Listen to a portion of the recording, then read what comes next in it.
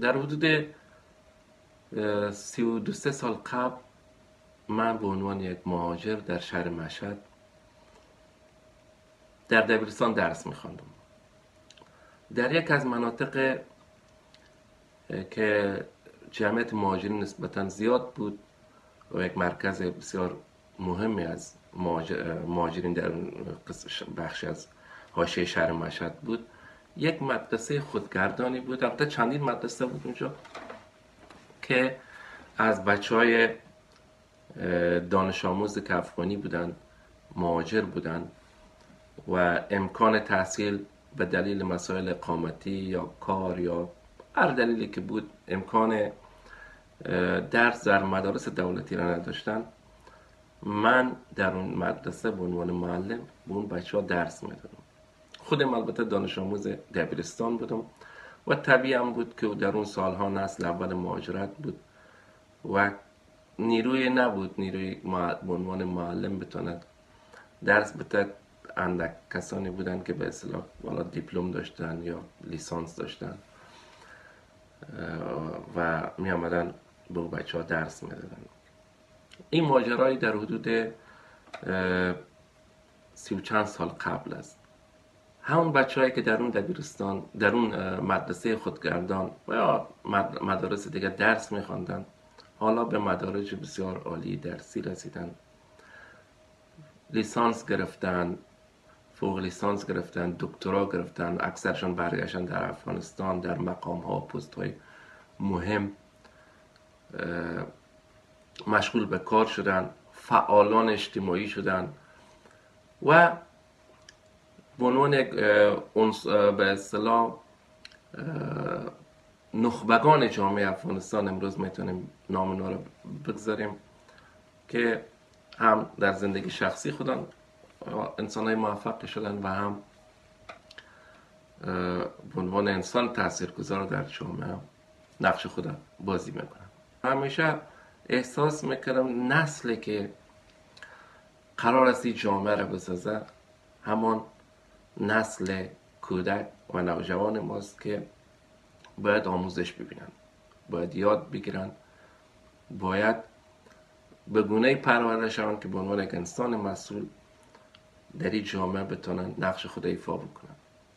ای از این نظر بر من جالب بود و کارکردهای آقای موسوی را که می‌دیدم بسیار برم از یک طرف دوباره مرا امیدوار می ساخت و از یک طرف هم انگیزه می‌داد و از یک طرف به باور می رسیدم که دیگه این نسل و این دوره ها اون سال های نیست که ما به سختی پشت سر گذراندیم و حالا یک نسل بیدار و آگاه هم وجود داره. اما می‌دیدم که آقای موسوی با تمام سعی تلاشی که می‌کنه مشکلات هنوز پابرجاست مشکلات همون مشکلاتی که سالها قبل بود و حتی از یک نظر به این مشکلات اضافه هم شده بود مثل ای که اکثر این خانواده هایی که در مدرسه فرهنگ که آقای موسوی داره می‌کنه جمع می شدن یا به اصلا شاگرداش اونجا به درس می خواندن دانش آموزانی بودن که دانش آموزان کار بودن. اکثرا کسایی بودن که کار می‌کردن و امکانی که در مدارس دولتی و رسمی بتونن درس بخونن وجود نداشت. ضمنی که خب اکثر اینا از شهر به شهر دیگه بازم به عنوان یعنی عامل هستیش هم مسئله کار است. خانوادهش مهاجرت می‌کرد و امکانی که در مدارس دولتی درس بخونن وجود نداشت. به هر حال برای من خودمی اتفاق اتفاق است که برای من همیشه خوشایند و رضایت بخش است و و بسیار دوست داشتم همین شرایط و وضعیت رفتم مدرسه فرهنگ دیدم. و تلاشی که آقای نادر موسیقی می‌کرد و حتی بعض وقتا می‌گفتم که تو هر انسانی در یک حد و توانی می‌تونه یک مسئولیت مثل بپذیره و بیشتر از اون نه مسئولیت انسانی آدم شرایط فیزیکی آدم ایجاد می‌کنه نه شرایط روحی آدم. و نه یک مسئولیت خیلی به اصطلاح وجدانی نیست که آدم باید حتما تحت هر قیمتی به اصلاح انجام بده. ولی خب تلاشا و پشتکار آقای موسوی بر من جالب بود. بر من جالب بود که با چه زحمتی آمد در نمایشگاه بیرون کتاب جای گرفت و بچه ها را آورد و نشریه داشتن برای کودکان منتشر می‌کنن کودکان آفتاب و معلمینی که میامد شاگردایی که میامد یک یک آقای مستوی در کل انسان سرشار از انرژی و و فعالیت می‌دیدم و خودم شخصا به تو یک روحیه غبطه میخوردم. و کاری که با شاگردا می‌کرد کلاسایی که برشان میذاشت کتابخانه که می‌خواست تجهیز بکنه و خودش همیشه که در غرفه های کتاب میگشت و کتاب بخر و ببر و بخوان در زمین آموزش اگر هر چیزی بود در زمین کودک اگر چیزی بود. ورکشاپ های مختلفی که برگزار می‌کرد به شمول مثلا کتابخانی به شمول داستان نویسی تئاتر و بردن بچه ها در موزیک در کنسرت ها در نمایش ها در سینما. از این نظر آقای موسوی برای من این جنبه مدیریتیش یا کارش بسیار های اهمیت هست و گفتم که بر من خیلی باعث افتخار است حتی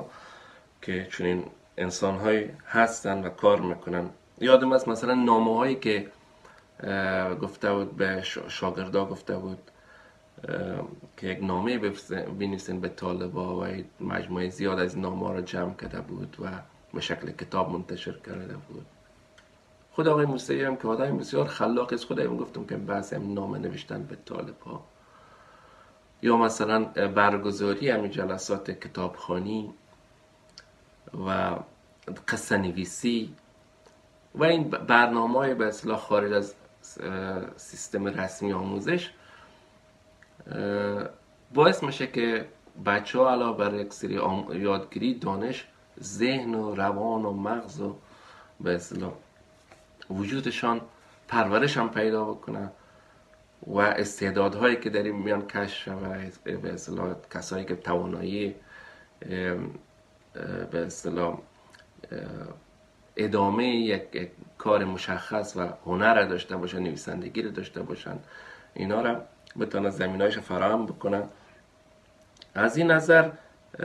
ما خود من که با دانش آموزه صحبت می‌کردم خیلی بچه های با انگیزه